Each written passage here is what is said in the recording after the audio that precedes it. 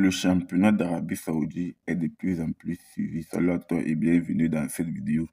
Dans cette vidéo, on va parler du championnat d'Arabie Saoudite. Mais avant de commencer, si tu me découvres à travers cette vidéo, ici nous on parle de foot. Ici nous on est passionné par le foot. Donc si tu es intéressé par la thématique, si la thématique te parle, n'hésite pas à t'abonner et d'activer la cloche de notification pour ne rien manquer des prochaines vidéos.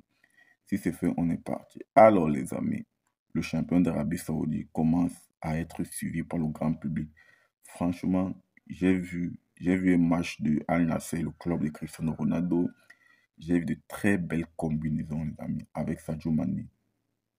C'est un très bon niveau. Hein. Ce championnat est de, est de bonne qualité.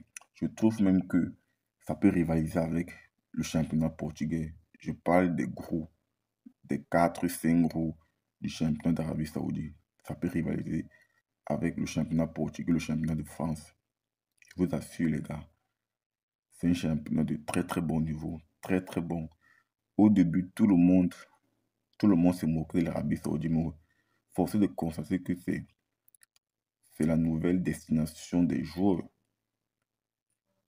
Au finish, franchement, ce championnat, c'est vraiment, je trouve ça, je trouve ce championnat intéressant.